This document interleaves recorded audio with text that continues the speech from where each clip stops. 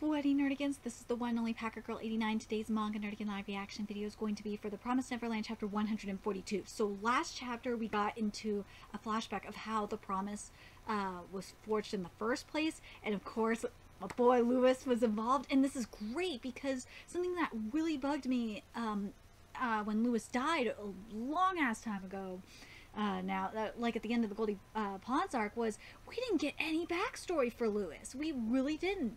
And this really is making up for it. At least for me, it is. I can't wait to see how this shit is going to go down. Anyway, let's get to this chapter and see what happens next. An urgent report of a disaster. Reporting in, Archduke Louis has appeared in the southwest forest. The Ratri force's stronghold has been annihilated. General Ratri is also most likely. I'm going to search for him. I'll go too. All right. Um, if he's still alive, we may not have much time. Besides, if their entire force did, uh, did end up being wiped out, if we don't recover the corpses, they'll eat them. Wait. Julius.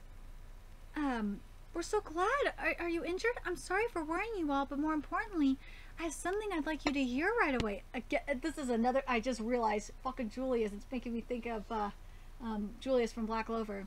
Anyway, all gathered round for the last round of um, discussion before, and this chapter is titled uh, The Promise from 1,000 Years Ago, Part 2. You want us to reconsider that proposal? That one about offering up a part of the humans in order to forge peace with them?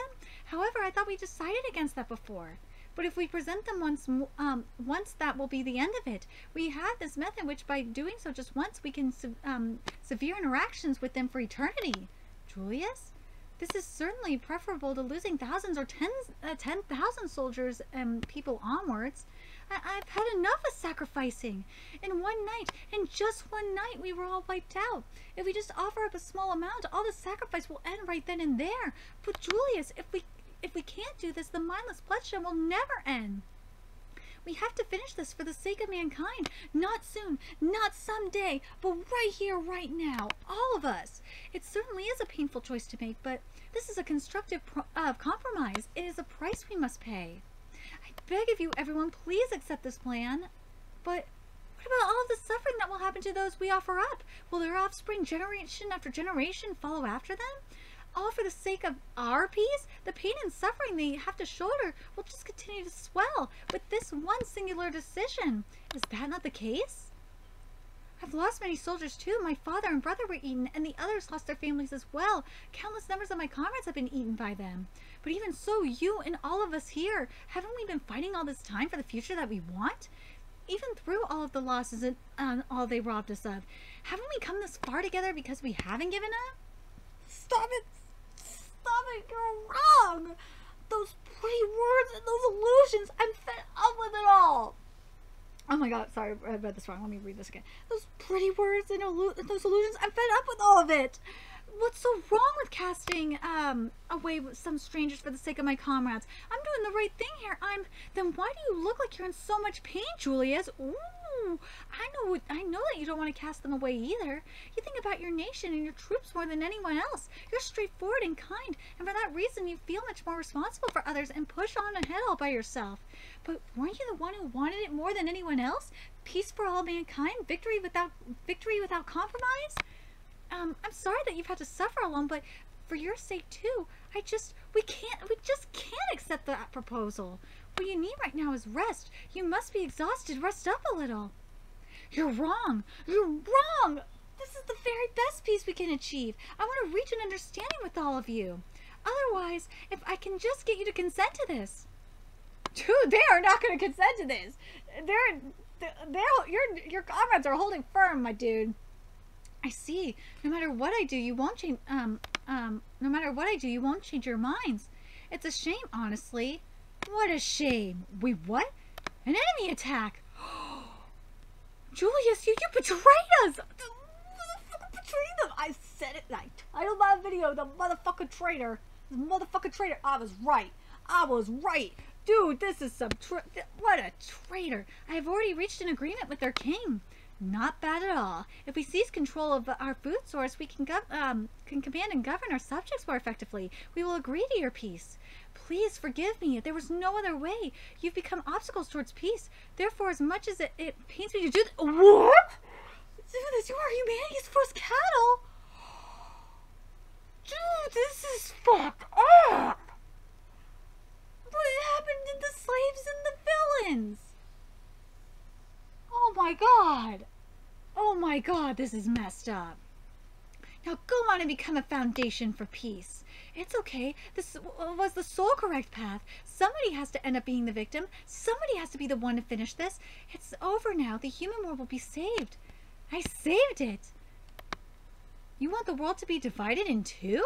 Okay, I will grant your wish. However, I will request a reward as well. It's the price for granting your wish. No matter what he wants, uh, no matter what he wants, do not refuse. I've decided. First, Everk from you. I would like the finest meat you will ever grow. You can make them right. Um, humans at farms? I want to eat better meat than you or your king ever would. I understand. Now then, next up is Julius for you. Once this is done, everything will be over. I can go home, whatever it takes, even if I must give him my life here.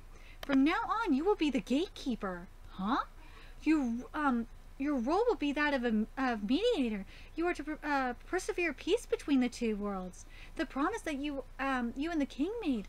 You are not to break each other's cu uh, customs, so that we may not hunt each other. Let us separate the world. If the human side doesn't play a part, you wouldn't be able to rest assured, right? So your clan, who are humans, will play that role forever.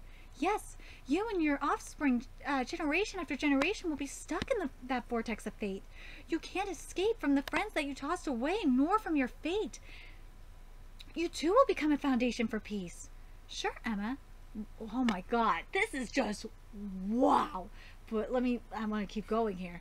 Sure, Emma. What is your wish? However, I will request a reward as well. A reward? Mr. Minerva's pen talked about that, but with such simple-mindedness, he really does seem like a kid. An existence of a higher dimension that has transcend transcended time and space, who at one time divided the human and demon worlds. What is he thinking of? What does he want? I can't read him at all. Almost like some fickle god. The reward? Hmm, it would have to be something important. Their ambition, their desire, what they long for, what I um, would want is something that is um, important to the other party. Will you make a wish despite that? What do you wish for? Look here. Three rules. One, promises made with cannot be overwritten. Two, promises made with cannot be broken. Three, you absolutely must not refuse him his reward.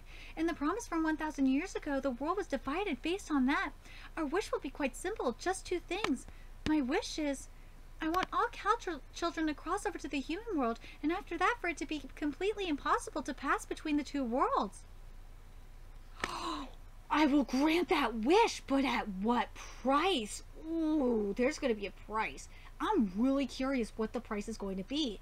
It, it would be interesting if the price was that um, he would, uh, that he that would, um, uh, like have Emma sacrifice her family. I, I don't know. Like, it, it's going to be high stakes. We saw what happened. Or, you know what? I think Emma could be the mediator on it. I think Emma could have um, uh, Ratri's role. I really do. I'm very curious what you guys think of that. What do you guys think the price is going to be?